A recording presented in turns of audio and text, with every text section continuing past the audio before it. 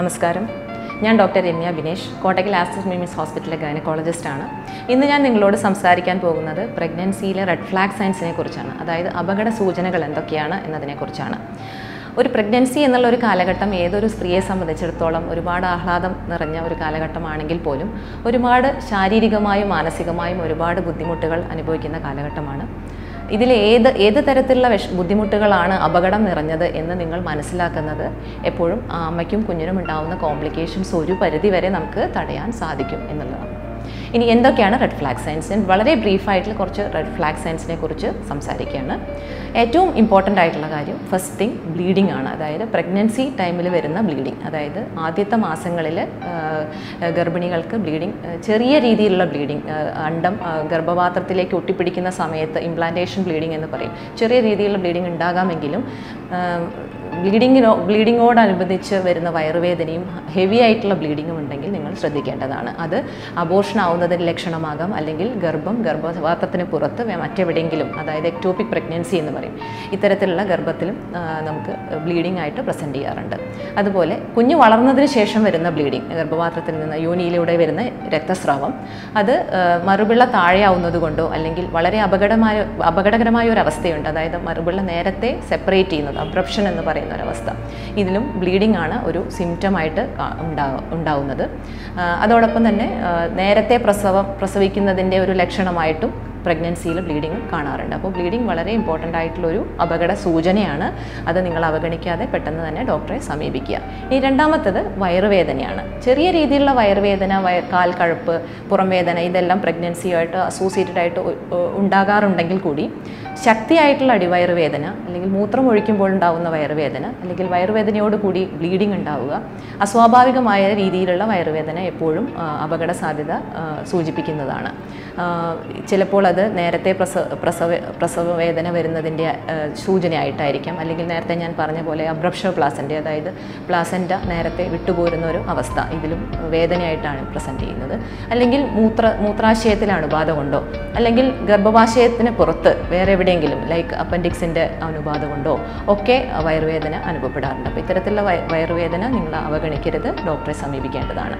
ഈ മൂന്നാമതായിട്ടുള്ള ഒരു അപകട സാധ്യത യോനിയിലെ യോനിയിലൂടെയുള്ള വെള്ളപ്പോക്കാണ് ചെറിയ രീതിയിലുള്ള വെള്ളപ്പോക്ക് പ്രഗ്നൻസിയിൽ വളരെ സാധാരണമാണെങ്കിൽ കൂടി ചൊറിച്ചിലോ അല്ലെങ്കിൽ പഴുപ്പ് പോലെയുള്ള രക്തപോക്കോ അല്ലെങ്കിൽ പച്ച കളറിലുള്ള രക്തപോക്കോ വെള്ളം രക്തം കലർന്നിട്ടുള്ള വെള്ളപോക്കോ ഇതെല്ലാം യോനിയിലെ അണുബാധയെ സൂചിപ്പിക്കുന്നതാണ്. അതോടൊപ്പം തന്നെ പ്രായ മാസം തികയുന്ന ഒരു സമയത്ത് അതായത് ഒരു ഇരുപത്തെട്ട് ആഴ്ചയ്ക്കൊക്കെ ശേഷം കണ്ടിന്യൂസ് ആയിട്ട് യോനിയിലൂടെ വെള്ളപ്പോക്ക് വരുന്നുണ്ടെങ്കിൽ അത് നേരത്തെ വെള്ളം പൊട്ടിപ്പോയതിന്റെ ഒരു സൂചനയായിരിക്കാം. നേരത്തെ വെള്ളം പൊട്ടിപ്പോകുന്നത് എപ്പോഴും ഗർഭപാത്രത്തിനകത്തേക്കും കുഞ്ഞിലേക്കും അണുബാധ വരാനുള്ള സാധ്യത കൂട്ടുന്നു എന്നുള്ളൊരു ഘടകമായതുകൊണ്ട് ഇത് നേരത്തെ തന്നെ ഡോക്ടറെ കണ്ട് അതിന്റെ പരിശോധനകളെല്ലാം ചെയ്യേണ്ടതുമാണ്. ഇനി അടുത്ത ഒരു അപകട സൂചന എന്നുള്ളത് ശക്തിയായിട്ടുള്ള തലവേദന അതോടൊപ്പം തന്നെ കണ്ണിന് കാഴ്ച മങ്ങുക എന്നുള്ളതല്ല.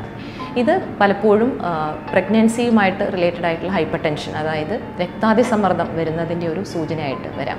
രക്താതിസമ്മർദ്ദം ഉള്ളവർക്ക് വരാം മുന്നേ രക്താതിസമ്മർദ്ദം ഇല്ലാത്ത ഒരു രോഗിക്ക് പെട്ടെന്ന് തലവേദനയും അതുപോലെ കണ്ണ് കാണാനുള്ള ബുദ്ധിമുട്ടും കാഴ്ചയ്ക്ക് മങ്ങുന്ന പോലെയുള്ള ബുദ്ധിമുട്ടുകളും അനുഭവപ്പെടുന്നുണ്ടെങ്കിൽ അത് രക്താതിസമ്മർദ്ദം അല്ലെങ്കിൽ ഹൈപ്പർ ടെൻഷനെയാണ് സൂചിപ്പിക്കുന്നത്. പെട്ടെന്ന് തന്നെ നിങ്ങൾ ഡോക്ടറെ സമീപിക്കേണ്ടതാണ്. ഇതോടൊപ്പം തന്നെ പ്രഷറുമായിട്ട് അല്ലെങ്കിൽ ഹൈ ബ്ലഡ് പ്രഷറുമായിട്ട് റിലേറ്റഡ് ആയിട്ടുള്ള കുറച്ച് സൂചനകളും കൂടെ ഞാനിവിടെ പറയുകയാണ് അതായത് ഒന്ന് ഇത് പറഞ്ഞ പോലെ അതിശക്തമായ ഹെഡ് അതിശക്തമായ ഹെഡേക്കാണ് പിന്നെ വയറുവേദന പെട്ടെന്ന് വരുന്ന വയറുവേദന. അതുപോലെ മൂത്രത്തിന്റെ അളവ് കുറഞ്ഞു പോവുക എന്നുള്ളത്. കണ്ണിന് ഇരുട്ട് കയറുക അല്ലെങ്കിൽ കണ്ണ് കാഴ്ച മങ്ങുക രണ്ടായിട്ട് കാണുക. ഇത്തരത്തിലുള്ള കാഴ്ചയുടെ പ്രശ്നങ്ങൾ ഉണ്ടാവുന്നത്. പെട്ടെന്ന് കാലിൽ നീർക്കെട്ട് കൂടി വരുന്നത്. സ്വാഭാവികമായും പ്രഗ്നൻസിയിൽ ചെറിയ തോതിലുള്ള നീർക്കെട്ട് ഉണ്ടാകാമെങ്കിലും പെട്ടെന്ന് കാലിൽ നീർക്കെട്ട് വരിക മൊത്തത്തിൽ ശരീരത്തിൽ നീര് കൂടി വരുന്ന ഒരവസ്ഥ പോലെ ഫീൽ ചെയ്യുക. ഇത്തരം ദുസൂചനകളായിട്ട് എടുക്കേണ്ടി വരും. അതായത് ഇത് പ്രഗ്നൻസി റിലേറ്റഡ് ഹൈപ്പർ ടെൻഷൻ അതായത് രക്താതിസമ്മർദ്ദവുമായിട്ട് റിലേറ്റഡ് ആയിട്ടുള്ള ബുദ്ധിമുട്ടുകളാണ്. പിന്നെ പ്രഗ്നൻസിയിൽ ഏറ്റവും കോമൺ ആയിട്ട് വരുന്ന ഒരു ഇൻഫെക്ഷനാണ് മൂത്രാശയത്തിലെ അണുബാധ. അത് വളരെ നിസ്സാരമായി തോന്നാമെങ്കിൽ കൂടി മൂത്രാശയത്തിലെ അണുബാധ പലപ്പോഴും കിഡ്നിയിലേക്കുള്ള ഇൻഫെക്ഷനോ അല്ലെങ്കിൽ ഈവൻ ഗർഭപാത്രത്തിനകത്തേക്ക് വരെ ഇൻഫെ അണുബാധ ഏൽക്കാനുള്ള സാധ്യത കൂട്ടുന്ന ഒരു കാര്യമായതുകൊണ്ട് ഇത്തരത്തിലുള്ള സിംറ്റംസ് അതായത് കൂടെ കൂടെ മൂത്രമൊഴിക്കാൻ തോന്നുന്നത് മൂത്രമൊഴിക്കുമ്പോൾ അടിവയറ് വേദന എരിച്ചിൽ പുകച്ചിൽ ഇത്തരം ബുദ്ധിമുട്ടുകൾ നിങ്ങൾ അവഗണിക്കരുത്. ഡോക്ടറെ കണ്ട് യൂറിൻ ടെസ്റ്റ് ചെയ്ത് അതിന് അനുസരിച്ചുള്ള ആന്റിബയോട്ടിക്സ് എടുത്തത് അവ തക്ക സമയത്ത് തന്നെ അതിന് ചികിത്സ തേടേണ്ടത് വളരെ അത്യാവശ്യമാണ്. ഇനി വളരെ കോമൺ ആയിട്ടുള്ള ഒരു സിംറ്റമാണ് ഫീവർ പനി. ഗർഭിണികളിൽ പനി വരാം.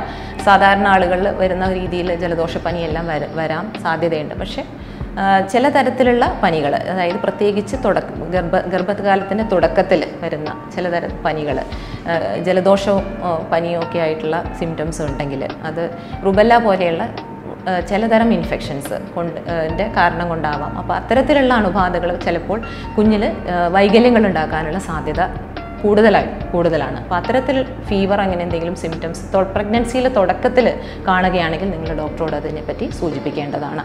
അല്ലെങ്കിൽ അവർ ഡീറ്റെയിൽഡ് ആയിട്ടുള്ള സ്കാൻ എല്ലാം ചെയ്ത് എന്തെങ്കിലും തരത്തിലുള്ള വൈകല്യങ്ങളുണ്ടോ എന്ന് നമുക്ക് ടെസ്റ്റ് ചെയ്യാൻ ചെയ്യാവുന്നതാണ്.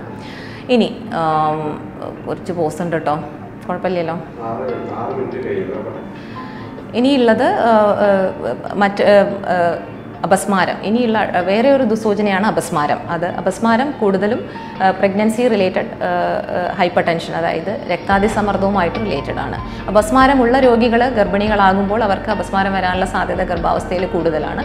ഏത് രീതിയിലുള്ള അപസ്മാരമാണെങ്കിലും നിങ്ങൾ നിർബന്ധമായും ഡോക്ടറുടെ സമീപിക്കേണ്ടതാണ്. അപ്പോൾ വളരെ ഷോർട്ടായിട്ട് ചില തരത്തിലുള്ള റെഡ് ഫ്ലാഗ് സയൻസിനെ പറ്റിയാണ് ഞാൻ ഇവിടെ വിശദീകരിച്ചിരിക്കുന്നത്. ഇതിൽ ഇതല്ലാതെ അസ്വാഭാവികമായിട്ടുള്ള എന്ത് തരം ലക്ഷണങ്ങളും കണ്ട കണ്ടാൽ ഉടനെ തന്നെ ഡോക്ടറെ സമീപിക്കേണ്ടതും തക്കതായ രീതിയിലുള്ള ചികിത്സ സ്വീകരിക്കേണ്ടതുമാണ്. പ്രഗ്നൻസിയിൽ അമ്മയ്ക്ക് വരുന്ന ബുദ്ധിമുട്ടുകൾ അമ്മയുടെയും കുഞ്ഞിന്റെയും ജീവനെ ഒരുപോലെ ബാധിക്കുന്ന കാര്യമായതുകൊണ്ട് തന്നെ ഇത്തരം ലക്ഷണങ്ങൾ എപ്പോഴും അവഗണി അവഗണിക്കാതെ തക്കതായിട്ടുള്ള സമയത്ത് ചികിത്സ സ്വീകരിക്കേണ്ടതാണ്.